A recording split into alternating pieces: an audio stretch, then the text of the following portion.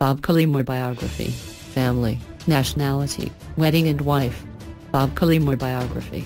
Bob Collymore whose full name is Robert William Collymore was born in 1958. He is a Ghanaian-born British based in Kenya. He is the Chief Executive Officer of Safaricom, a multinational telecommunication company. As head of Safaricom, which is 40% owned by Vodafone of the UK, the 55-year-old leads a company seen as a national institution but that is often accused of monopolistic tendencies. Bob Collymore uses the word dominant before correcting himself. Why don't we call it ubiquitous? I think that's a nice word. Safaricom has 19 meters customers in a country of 44 meters, which translates to nearly every adult. Reported revenues of KSH 116.5 bn, $1.3 billion, last year and has developed an international reputation for innovation Bob Collymore early life. Bob Collymore was raised by his grandparents in Guyana for 12 years and when he was 16 his mother, who had moved to the UK, brought him to join her in London. As the only black child in his class, he tried to be wallpaper to avoid getting beaten up. After school, he had to forego a place at Warwick University because he was not eligible for funding. I wanted to go to university and I disliked not having gone in for some years after I wished I'd gone, he says. Now it doesn't matter. But, I would always advise a young person to go to the best university you can find. Unable to pursue a degree, Bob Collymore spent his time filling forms as a junior underwriter and working as a train announcer while pursuing his passion for surrealist stuff. Were it not for his mother, he might still be selling his oil paintings along the railings of Hyde Park. But she joked she would evict him unless he got a serious job and got him an interview at British Telecom, where she worked. He was given an entry-level job as a clerical officer. Bob Collymore career Bob Collymore career took off when he joined the UK's Cellnet in 1993, just as the corporate world was starting to venture into mobile telephony. I was walking down a path no one else had walked and I thought, this is good because the rules aren't written and I'm just going to make the rules up as I go, he says. We took some risks. This change thing, it is actually quite exciting, it's good, and you will make mistakes and you will stumble and fall and that's quite neat. The hankering after new ground and love of adaptability has served him well. I didn't go to the smart university, this is probably the only thing which has ever distinguished me, he says. Nothing beats this job. Bob Collymore Job History. September 2010, present, CEO at Safaricom February 2009, September 2010, Chief Officer Corporate Affairs, Vodacom, September 2006, February 2009, Governance Director, Africa, Vodafone.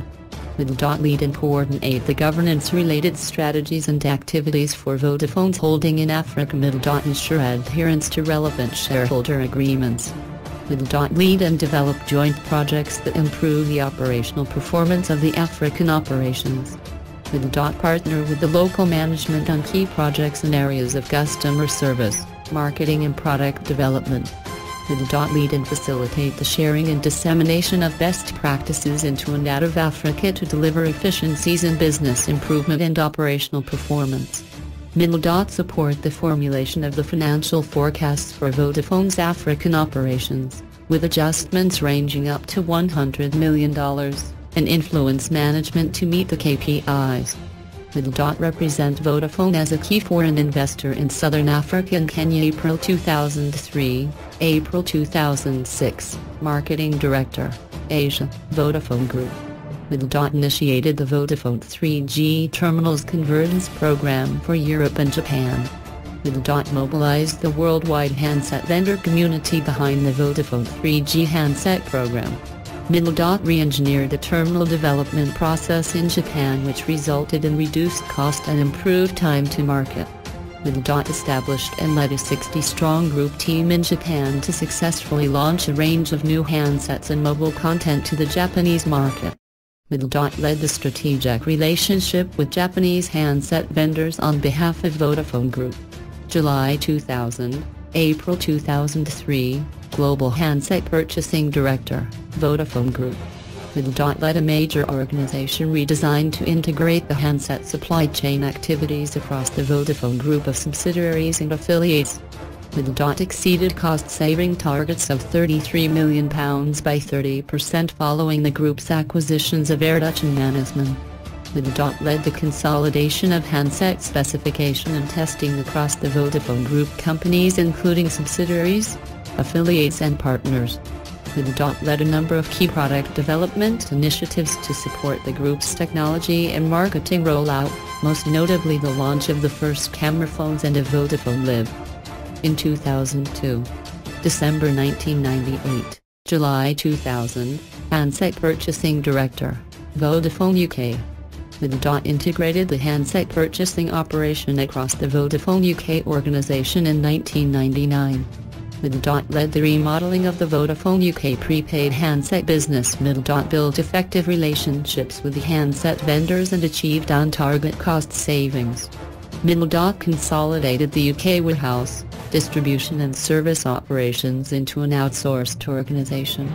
July 1994, December 1998 purchasing director of Dixons Stores Group. Middledot grew the Dixons market share from around 5% to more than 10% of the UK cellular market and more than 25% of the fixed terminals market.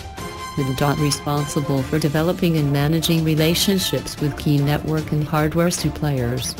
Middledot as a board member of Dixons Group Purchasing Limited, had an integral role in the development of the group's purchasing strategy.